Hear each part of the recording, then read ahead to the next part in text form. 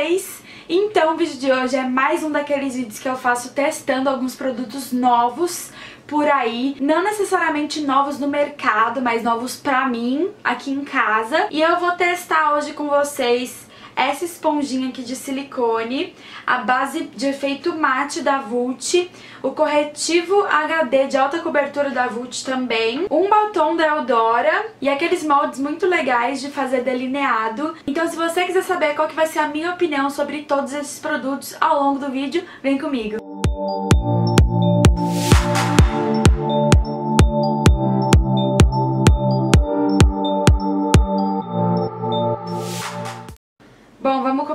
Com a esponjinha de silicone e a base mate da Vult. A minha cor é a bege 3. Pra mim tá ótimo, porque eu estou no verão, minha pele tá um pouquinho mais morena. Vou depositar um pouquinho aqui na parte de cima. Ó, como a gente pode ver, ela tem uma parte que é mais anatômica, que é mais redonda, e a parte de trás ela é chapada. Então, a superfície que a gente coloca a base é essa aqui, que é redondinha, tá vendo? Então seria a parte de cima, assim, podemos dizer. E aí eu vou colocar um pouquinho da base da Vult aqui. Assim. Nossa, tremendo. Normal, viu? Agora eu vou depositar no meu rosto. Eu sempre começo a aplicar do centro pra fora. Vamos ver o que, que vai dar. Eu sinto que eu tenho que dar uma espalhadinha antes de começar a dar batidinhas, porque senão é como se o produto ele não espalhasse. Tô achando bem esquisito. Eu tô com o resto de cola de cílios ainda no cílio, gente, desculpa. Aqui no nariz é bem difícil, porque a esponjinha, ela não é muito ergonômica, então eu sinto uma dificuldade em espalhar aqui nos cantos. Eu tô espalhando no rosto inteiro, né? É melhor se eu espalhar de um lado e aí a gente já vê a cobertura da base, né? É isso que eu vou fazer, então. Vou terminar de espalhar só de um lado.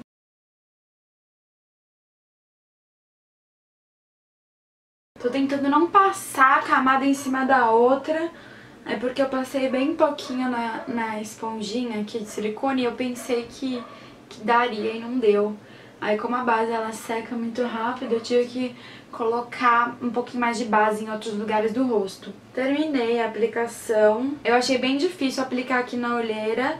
Eu acho que se eu fizesse essa aplicação todos os dias, eu reaplicaria um pouco mais aqui com mais cuidado. Mas dá pra ver nitidamente que a base tem uma cobertura ótima, apesar da aplicação um pouco mal feita com a com silicone, a minha olheira deu uma sumida em relação a essa, ó. Eu gostei da cobertura. Base aplicada e olhando pela, pela lente, assim, eu ainda vou aproximar um pouco mais pra vocês terem uma noção maior de como ficou a base na minha pele com esse tipo de aplicação. Mas aqui olhando no espelho, dá pra ver que o acabamento ficou bom. Essa base parece que deixa a pele bem lisinha. Assim, você olhando, parece que você passou um hidratante antes de passar essa base.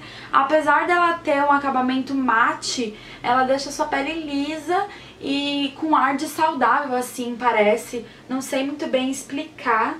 Mas eu vou aproximar pra vocês verem um pouquinho mais de perto, então vocês vão entender o que eu tô falando. A base não tem um cheiro que me incomode, pra mim o cheiro é ok. Gostei bastante da cobertura e a cor ela é um pouco mais clara quando você aplica na pele e aí ela oxida, então ela escurece um pouco. Não vou mais aplicar com a esponjinha, não gostei da aplicação dela, mas pra quem procura um produto que não sugue muito é, a base e o corretivo, eu indico, apesar dela não ser muito ergonômica. Gente, a marca dessa esponjinha aqui de silicone é Color B.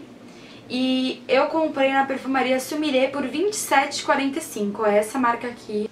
Agora vamos para o corretivo da Vult, que é um corretivo líquido HD de alta cobertura.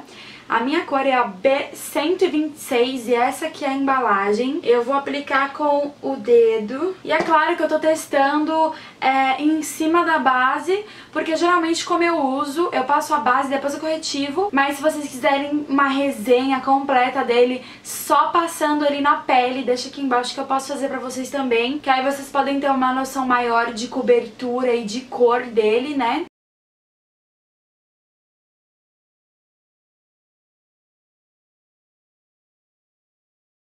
Cima da base ele fica assim. Eu não comprei no intuito de ter um corretivo iluminador, eu queria um corretivo bem da cor da minha pele. Então vocês podem ver que não tem muita diferença da cor da base para a cor dele. Mas caso você queira um corretivo iluminador, é só você comprar ele uns dois tons abaixo da sua base e aí você vai conseguir iluminar seu rosto com ele, mas como não era o meu intuito, eu comprei da cor da minha pele e analisando as olheiras, ele dá um up na cobertura, né, como vocês podem ver. Vou aproximar um pouco mais de vocês para vocês conseguirem ver a diferença de um olho pro outro. Espero que tenha dado para vocês verem. A cor dele, que é a B126, é uma cor mais amarelada do que rosada, porque o meu tom de pele pede isso, pede uma cor mais amarelada, porque o fundo dele é amarelado. E agora eu vou passar do outro lado pra ficar tudo igualzinho. Aplicação feita e eu adorei a aplicação da base junto do corretivo. Eu sei também que tem a base HD, que é da mesma linha do corretivo. Aliás, eu comprei. Se vocês quiserem, num próximo vídeo de primeiras impressões, eu posso testar pra vocês também e falar minha cor, que as cores são diferentes das duas. Agora eu vou passar um pozinho só aqui na parte de cima da pálpebra, porque agora a gente vai testar o molde de fazer delineado. Eu comprei numa perfumaria aqui perto de casa, foi 5 reais. Então vamos lá, vou aproximar de novo de vocês. Vou ficar bem pertinho pra vocês conseguirem enxergar, tá bom? Eu acho que é assim que faz. Eu vou usar o meu visor como espelho, tá bom? Pra eu conseguir fazer direitinho. Vamos ver logo o que, que vai rolar. Vou pegar uma sombra preta, um pincel. Esse vai ser o formato que eu quero.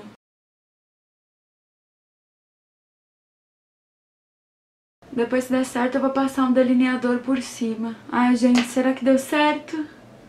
Tirar, vamos ver. Acho que eu fiz alguma coisa de errado, ó. Mas eu vou tentar do outro lado, vai. Vai que dá certo. Gente, que delineado horrível! Fica muito feio. Não sou eu que tô fazendo errado, é? Não sei se sou eu. Que aqui parece tão bonito. Eu vou lá, boto no meu olho.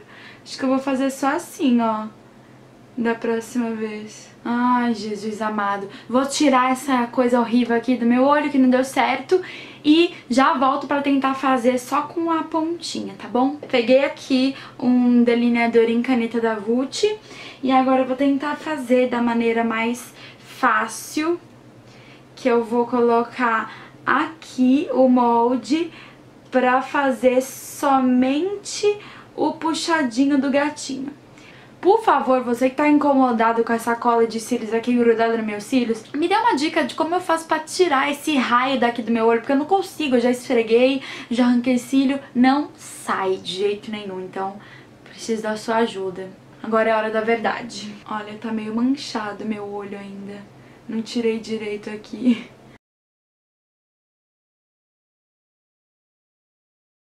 Olha, pra fazer o puxadinho eu gostei, hein? Olha que luxo, gente, adorei. Ficou fino, ficou elegante, puxadinho.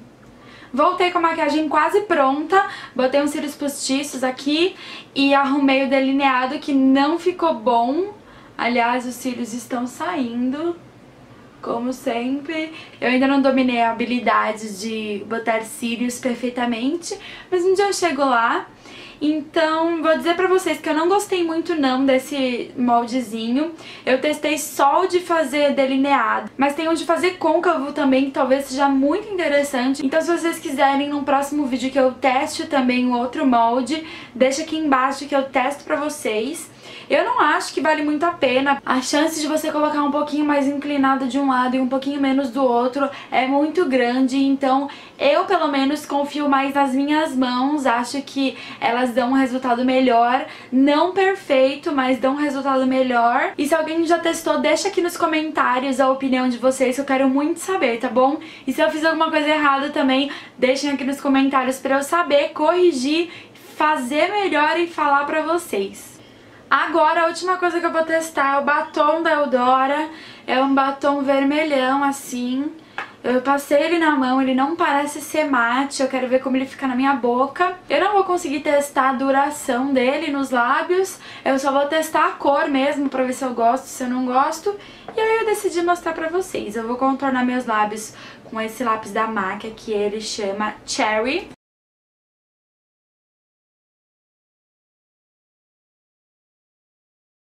E agora eu vou passar o batom.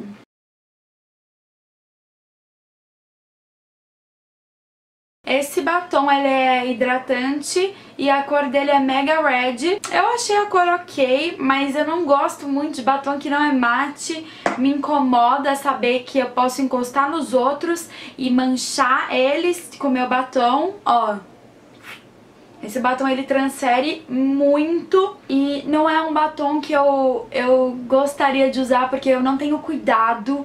Então eu ia manchar todas as pessoas à minha volta, eu ia me manchar, então não daria certo.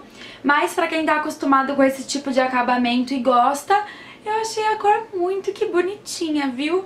Eu sei que vocês gostam muito desse tipo de vídeo, porque sempre que eu posto eu tenho bastante visualização e bastante curtida, então se você curtiu esse vídeo, deixa o seu joinha aqui embaixo pra eu saber e gravar mais vídeos assim desse tipo. Se você ainda não é inscrito no meu canal, se inscreva pra ficar por dentro de todas as novidades. O meu Instagram, assim como o meu Facebook, é PriRubyblog. Agora a Pri vai embora. Um beijo e até o próximo vídeo. Tchau!